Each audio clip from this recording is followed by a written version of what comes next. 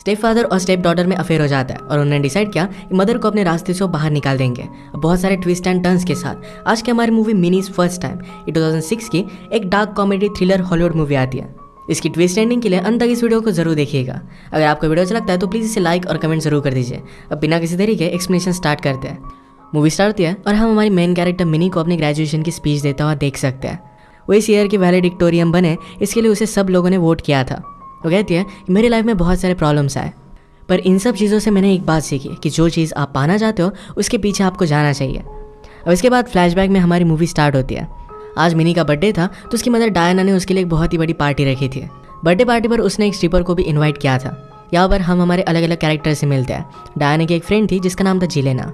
जिलेना ने अपने पति से सिर्फ़ पैसों के लिए शादी की थी। इसके बाद हम उनका एक नेबर देखते हैं, जिसका नाम था माइक। माइक का एक टीवी शो था जहाँ पर कपल आते थे और शादी से पहले उन्हें कन्फर्म किया जाता था।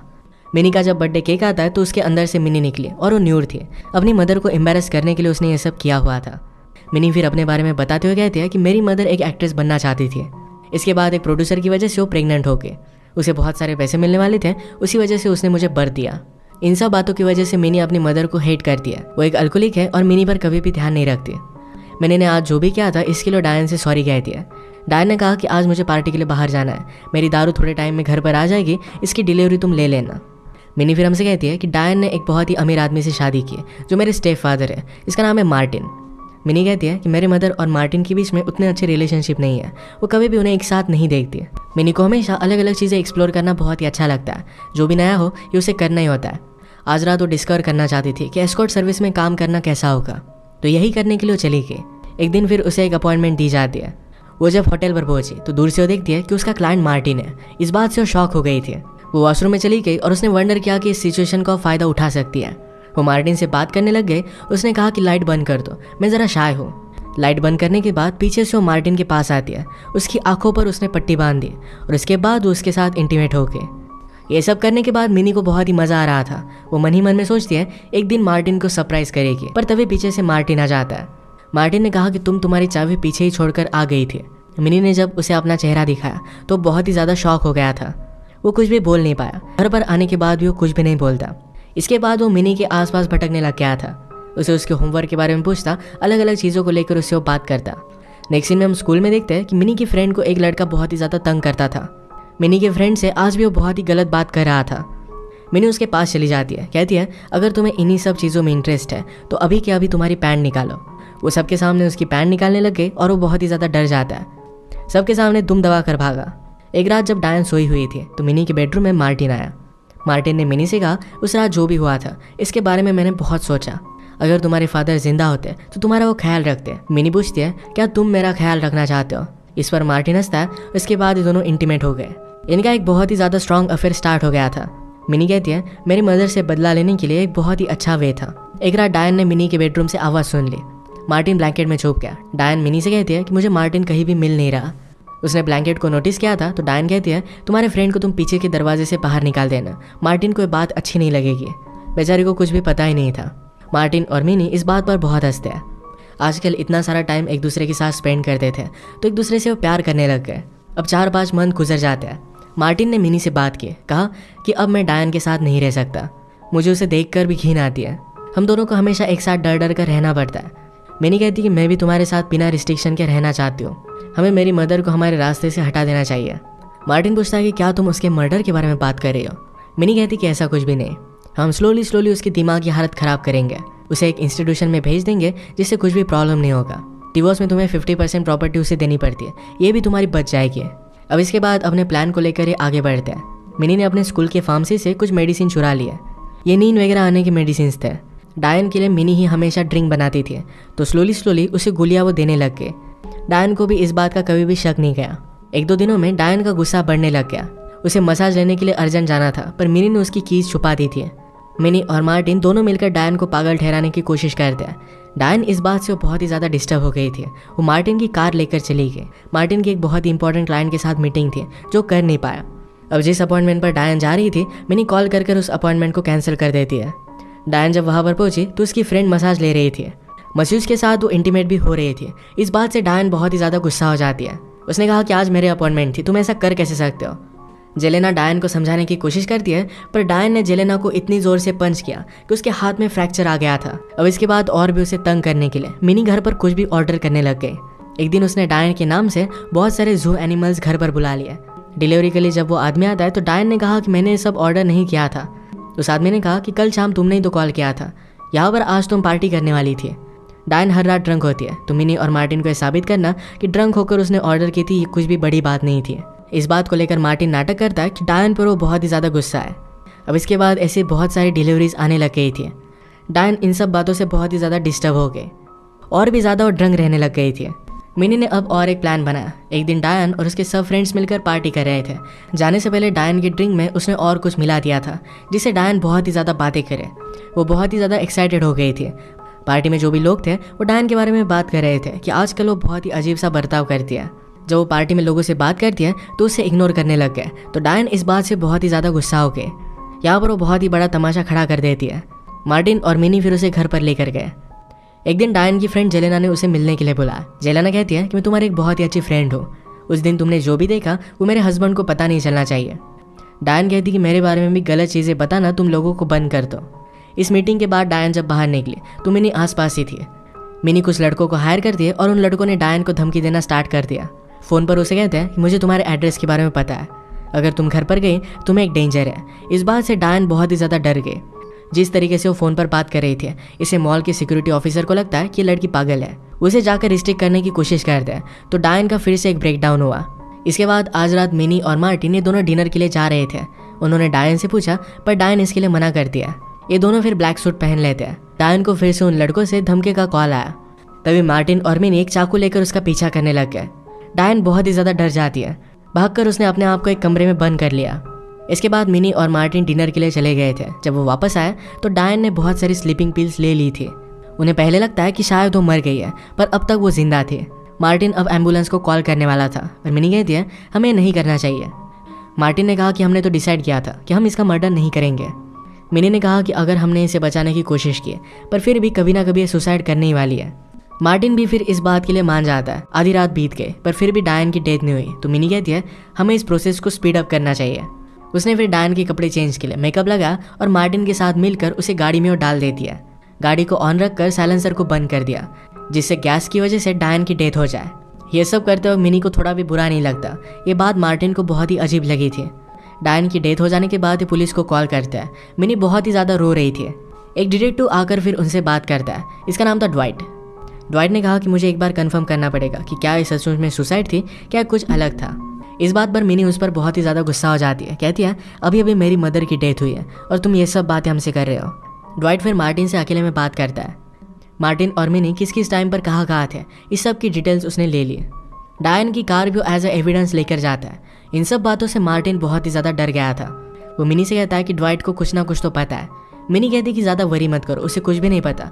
वो सिर्फ़ तुम्हें डराने की कोशिश कर रहा था। डायन की फिनरल के बाद, डायन की फ्रेंड से, ये मार्टिन पर लाइन मारने लग गए। जेलेना आकर मार्टिन से बात करती है और कहती है, अगर तुम्हें कभी भी सहारे की ज़रूरत पड़े तो मैं हमेशा तुम्हारे पास हूँ। मैं दस मिनट में तुम्हारे घर पर आ जाऊँगी मार्टिन और मिनी को जल्द से जल्द इन सबसे दूर जाना था तो वैकेशन पर एक जगह पर आ जाते हैं।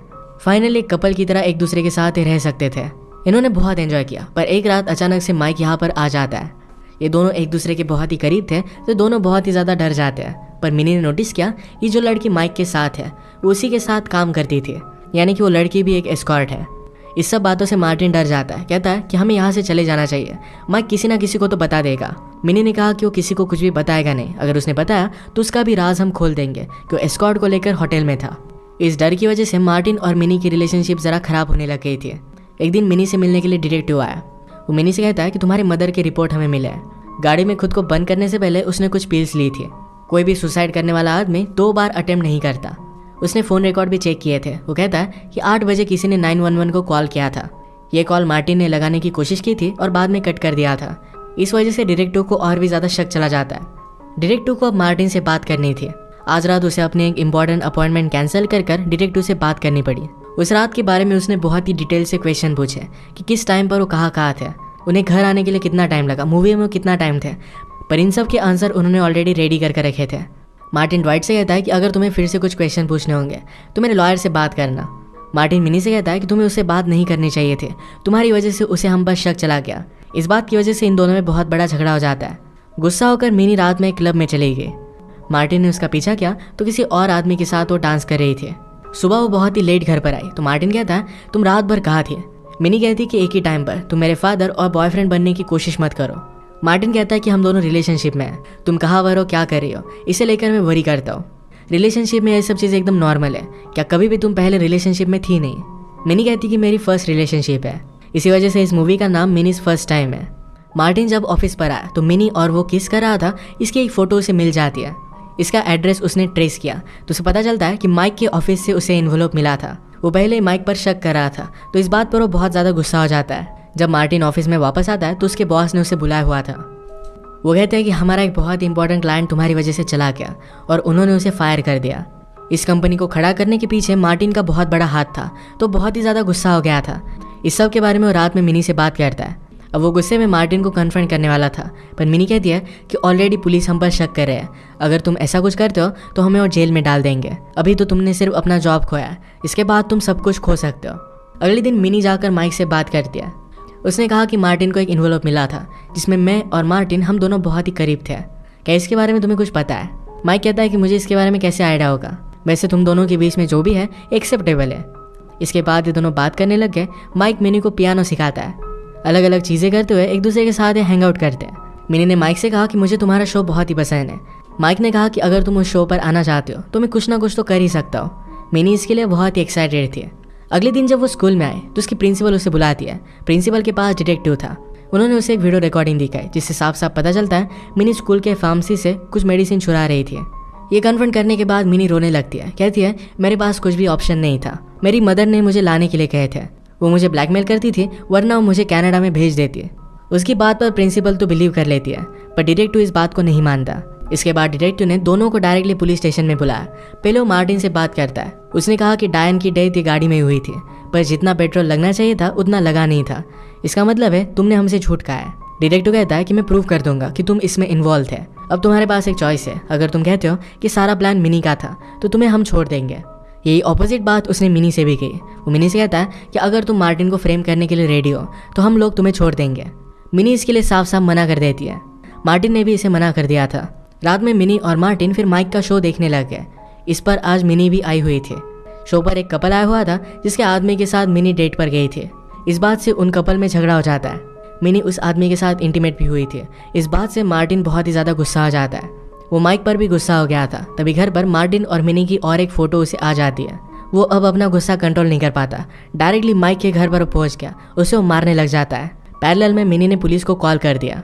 मार्टिन माइक को मारने वाला था, तभी पुलिस वहाँ पर पहुँच जाते हैं और उसे अरेस्ट कर लेते हैं। पुलिस को लगा कि डायन का मर्डर मार्टिन ने किया है तो उसे एक बड़ी जेल हो जाती है। जेल में मिनी उसे मिलने के लिए आई। मार्टिन कहता है कि वो फोटोग्राफ अभी माइक के पास है। अगर तुम चाहो तो माइक को हमारे रास्ते से हम हटा सकते हैं मिनी कहती कि तुम बहुत ही ज़्यादा बुद्धू हो। वो सब फ़ोटो मैंने ही तुम्हें भेजी थी। जो भी सब कुछ हुआ, ये पहले से मेरा ही प्लान था। मार्टिन बेचारा हमेशा के लिए जेल में फंस जाता है। मिनी लास्ट में हमसे कहती है कि ये भी एक बहुत ही अच्छा एक्सपीरियंस था। उसे अलग अलग चीज़ें ट्राई करने में मज़ा आता था तो ये भी ट्राई करने में उसे बहुत ही मज़ा आया। इसे एक ट्विस्ट एंडिंग के साथ मूवी एंड हो जाती है। अगर आपको एक्सप्लेनेशन अच्छा लगा तो प्लीज़ इसे लाइक और कमेंट ज़रूर कर दीजिएगा। बहुत सारी मूवीज़ लेकर आते रहते हो तो प्लीज़ चैनल को सब्सक्राइब कर दीजिए और बेल नोटिफिकेशन आइकन मत भूलिएगा। हम फिर से मिलेंगे और एक नई मूवी के साथ। तब तक के लिए थैंक यू और आप अपने आप का ख्याल रखिए। स्टेप फादर और स्टेप डॉटर में अफेयर हो जाता है और उन्होंने डिसाइड किया कि मदर को अपने रास्ते से बाहर निकाल देंगे। बहुत सारे ट्विस्ट एंड टर्न्स के साथ। आज की हमारी मूवी मिनीज फ़र्स्ट टाइम ये 2006 की एक dark comedy thriller Hollywood movie आती है। इसकी ट्विस्ट एंडिंग के लिए अंत तक इस वीडियो को ज़रूर देखिएगा। अगर आपको वीडियो अच्छा लगता है तो प्लीज़ इसे लाइक और कमेंट ज़रूर कर दीजिए। अब बिना किसी तरीके एक्सप्लेनेशन स्टार्ट करते हैं। मूवी स्टार्ट होती है और हम हमारी मेन कैरेक्टर मिनी को अपनी ग्रेजुएशन की स्पीच देता हुआ देख सकते हैं। वो इस ईयर की वैलिडिक्टोरियम बने, इसके लिए उसे सब लोगों ने वोट किया था। वो कहती है कि मेरी लाइफ में बहुत सारे प्रॉब्लम्स आए, पर इन सब चीज़ों से मैंने एक बात सीखी कि जो चीज़ आप पाना चाहते हो, उसके पीछे आपको जाना चाहिए। अब इसके बाद फ्लैशबैक में हमारी मूवी स्टार्ट होती है। आज मिनी का बर्थडे था तो उसकी मदर डायना ने उसके लिए एक बहुत ही बड़ी पार्टी रखी थी। बर्थडे पार्टी पर उसने एक स्ट्रीपर को भी इन्वाइट किया था। यहाँ पर हम हमारे अलग अलग कैरेक्टर से मिलते हैं। डायना की एक फ्रेंड थी, जिसका नाम था जिलेना जिलेना ने अपने पति से सिर्फ़ पैसों के लिए शादी की थी। इसके बाद हम उनका एक नेबर देखते हैं, जिसका नाम था माइक माइक का एक टीवी शो था जहाँ पर कपल आते थे और शादी से पहले उन्हें कन्फर्म किया जाता था। मिनी का जब बर्थडे केक आता है तो उसके अंदर से मिनी निकली और वो न्यूर थी। अपनी मदर को एम्बेरस करने के लिए उसने ये सब किया हुआ था। मिनी फिर अपने बारे में बताते हुए कहती है कि मेरी मदर एक एक्ट्रेस बनना चाहती थी। इसके बाद एक प्रोड्यूसर की वजह से वो प्रेग्नेंट हो गए उसे बहुत सारे पैसे मिलने वाले थे, उसी वजह से उसने मुझे बर दिया। इन सब बातों की वजह से मिनी अपनी मदर को हेट कर दिया वो एक अल्कोलिक है और मिनी पर कभी भी ध्यान नहीं रखती। मैंने ने आज जो भी किया था, इसके लिए डायन से सॉरी कह दिया डायन ने कहा कि आज मुझे पार्टी के लिए बाहर जाना है। मेरी दारू थोड़े टाइम में घर पर आ जाएगी, इसकी डिलीवरी तुम ले लेना। मिनी फिर हमसे कहती है कि डायन ने एक बहुत ही अमीर आदमी से शादी की है, जो मेरे स्टेप फादर है। इसका नाम है मार्टिन। मिनी कहती है कि मेरे मदर और मार्टिन के बीच में उतने अच्छे रिलेशनशिप नहीं है, वो कभी भी उन्हें एक साथ नहीं देखती है। मिनी को हमेशा अलग अलग चीज़ें एक्सप्लोर करना बहुत ही अच्छा लगता है। जो भी नया हो, ये उसे करना ही होता है। आज रात वो डिस्कवर करना चाहती थी कि एस्कॉट सर्विस में काम करना कैसा होगा। तो यही करने के लिए वो चली गई। एक दिन फिर उसे एक अपॉइंटमेंट दी जाती है। वो जब होटल पर पहुँची तो दूर से वो देखती है कि उसका क्लाइंट मार्टिन है। इस बात से वो शॉक हो गई थी। वो वॉशरूम में चली गई और उसने वंडर किया कि इस सिचुएशन का फ़ायदा उठा सकती है। वो मार्टिन से बात करने लग गए उसने कहा कि लाइट बंद कर दो। मैं ज़रा शाय हूँ। लाइट बंद करने के बाद पीछे से वो मार्टिन के पास आती है। उसकी आँखों पर उसने पट्टी बाँध दी और उसके बाद वो उसके साथ इंटीमेट हो गए ये सब करने के बाद मिनी को बहुत ही मज़ा आ रहा था। वो मन ही मन में सोचती है, एक दिन मार्टिन को सरप्राइज़ करेगी, पर तभी पीछे से मार्टिन आ जाता है। मार्टिन ने कहा कि तुम तुम्हारी चाबी पीछे ही छोड़कर आ गई थी। मिनी ने जब उसे अपना चेहरा दिखाया तो बहुत ही ज़्यादा शौक हो गया था। वो कुछ भी बोल नहीं पाया। घर पर आने के बाद भी वो कुछ भी नहीं बोलता। इसके बाद वो मिनी के आसपास भटकने लग गया था। उसे उसके होमवर्क के बारे में पूछता अलग अलग चीज़ों को लेकर उससे वो बात करता। नेक्स्ट सीन में हम स्कूल में देखते हैं कि मिनी की फ्रेंड को एक लड़का बहुत ही ज़्यादा तंग करता था। मिनी के फ्रेंड से आज भी वो बहुत ही गलत बात कर रहा था। मिनी उसके पास चली जाती है। कहती है, अगर तुम्हें इन्हीं सब चीज़ों में इंटरेस्ट है तो अभी के अभी तुम्हारी पैंट निकालो। वो सबके सामने उसकी पैंट निकालने लग गए और वो बहुत ही ज़्यादा डर जाता है। सबके सामने दुम दबा कर भागा। एक रात जब डायन सोई हुई थी तो मिनी के बेडरूम में मार्टिन आया। मार्टिन ने मिनी से कहा, उस रात जो भी हुआ था, इसके बारे में मैंने बहुत सोचा। अगर तुम्हारे फादर ज़िंदा होते तो तुम्हारा वो ख्याल रखते। मिनी पूछती है, क्या तुम मेरा ख्याल रखना चाहते हो? इस पर मार्टिन हंसता है, उसके बाद ये दोनों इंटीमेट हो गए। इनका एक बहुत ही ज़्यादा स्ट्रॉन्ग अफेयर स्टार्ट हो गया था। मिनी कहती है, मेरी मदर से बदला लेने के लिए एक बहुत ही अच्छा वे था। एक रात डायन ने मिनी के बेडरूम से आवाज़ सुन ली। मार्टिन ब्लैंकेट में छुप गया। डायन मिनी से कहती है कि मुझे मार्टिन कहीं भी मिल नहीं रहा। उसने ब्लैंकेट को नोटिस किया था तो डायन कहती है, तुम्हारे फ्रेंड को तुम पीछे के दरवाजे से बाहर निकाल देना। मार्टिन को ये बात अच्छी नहीं लगेगी। बेचारी को कुछ भी पता ही नहीं था। मार्टिन और मिनी इस बात पर बहुत हँसते हैं। आजकल इतना सारा टाइम एक दूसरे के साथ स्पेंड करते थे तो एक दूसरे से वो प्यार करने लग गए। अब चार पाँच मंथ गुजर जाते हैं। मार्टिन ने मिनी से बात की, कहा कि अब मैं डायन के साथ नहीं रह सकता। मुझे उसे देख भी घिन आती है। हम दोनों को हमेशा एक साथ डर डर कर रहना पड़ता है। मिनी कहती कि मैं भी तुम्हारे साथ बिना रिस्ट्रिक्शन के रहना चाहती हूँ। हमें मेरी मदर को हमारे रास्ते से हटा देना चाहिए। मार्टिन पूछता है कि, क्या तुम उसके मर्डर के बारे में बात कर रही हो? मिनी कहती कि ऐसा कुछ भी नहीं। हम स्लोली स्लोली उसकी दिमाग की हालत ख़राब करेंगे। उसे एक इंस्टीट्यूशन में भेज देंगे, जिससे कुछ भी प्रॉब्लम नहीं होगा। डिवोर्स में तुम्हें फिफ्टी परसेंट प्रॉपर्टी उसे देनी पड़ती है। ये भी तुम्हारी बच जाएगी। अब इसके बाद अपने प्लान को लेकर ये आगे बढ़ते हैं। मिनी ने अपने स्कूल के फार्मेसी से कुछ मेडिसिन चुरा लिया ये नींद वगैरह आने के मेडिसिन थे। डायन के लिए मिनी ही हमेशा ड्रिंक बनाती थी तो स्लोली स्लोली उसे गोलियाँ वो देने लग गए। डायन को भी इस बात का कभी भी शक नहीं गया। एक दो दिनों में डायन का गुस्सा बढ़ने लग गया। उसे मसाज लेने के लिए अर्जेंट जाना था, पर मिनी ने उसकी कीज छुपा दी थी। मिनी और मार्टिन दोनों मिलकर डायन को पागल ठहराने की कोशिश करते हैं।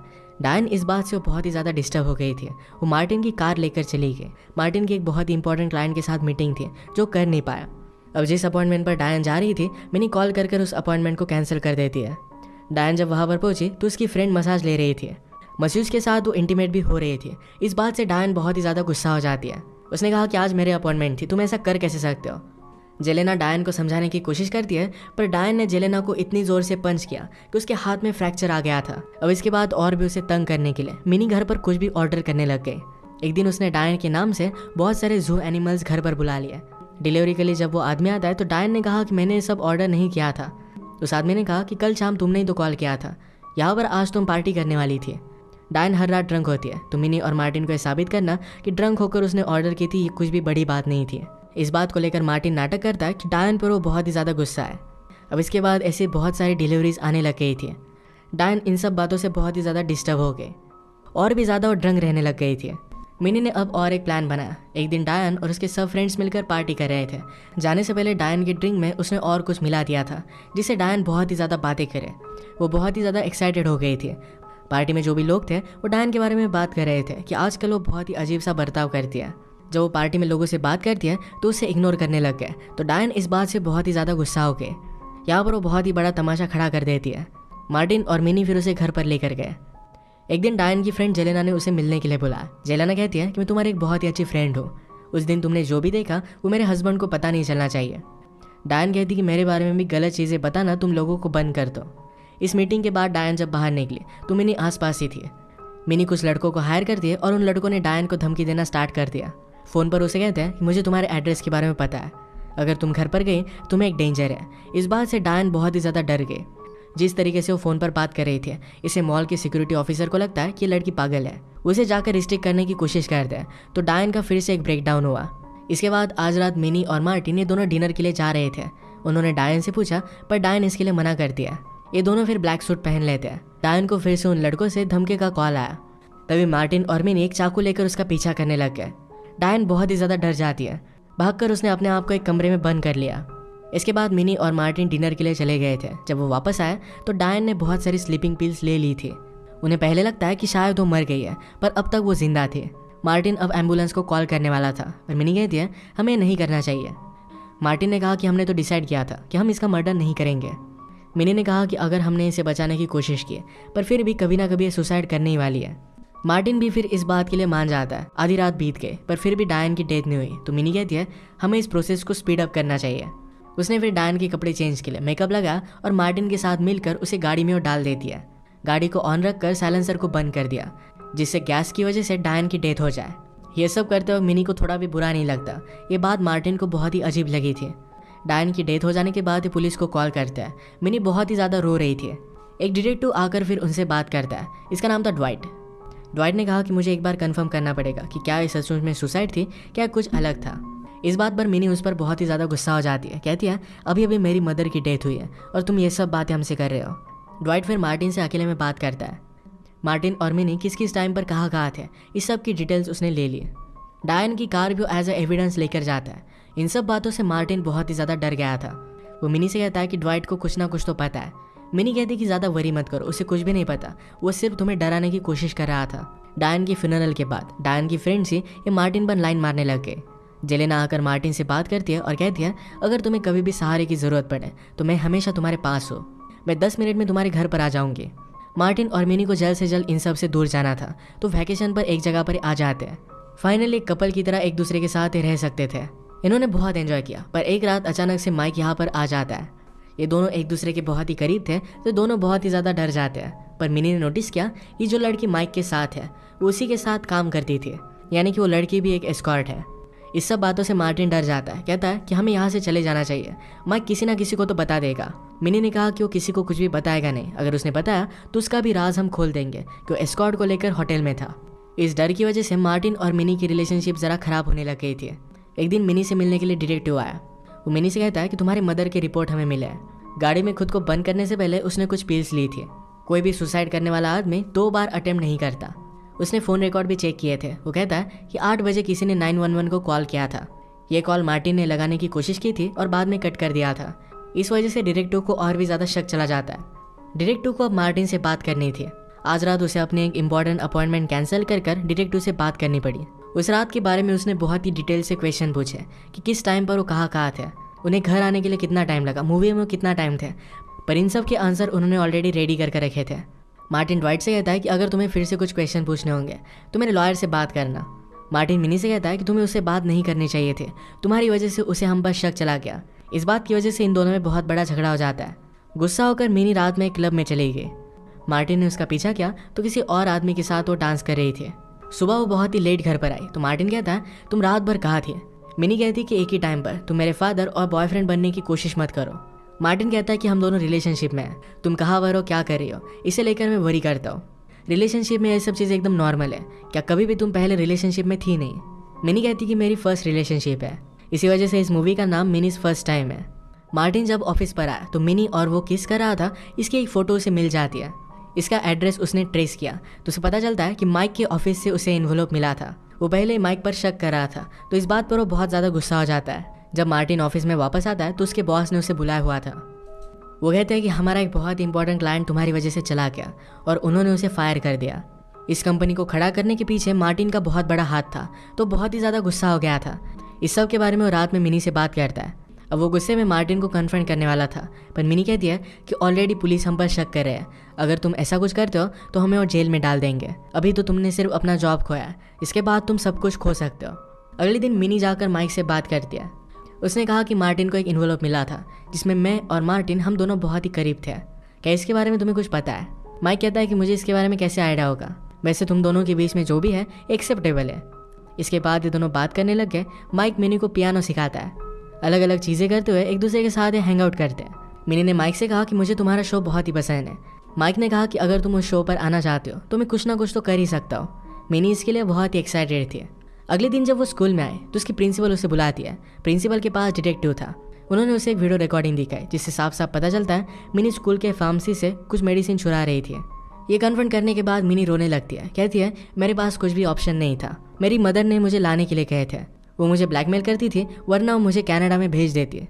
उसकी बात पर प्रिंसिपल तो बिलीव कर लेती है पर डिटेक्टिव इस बात को नहीं मानता। इसके बाद डिटेक्टिव ने दोनों को डायरेक्टली पुलिस स्टेशन में बुलाया। पहले वो मार्टिन से बात करता है। उसने कहा कि डायन की डेथ ये गाड़ी में हुई थी, पर जितना पेट्रोल लगना चाहिए था, उतना लगा नहीं था।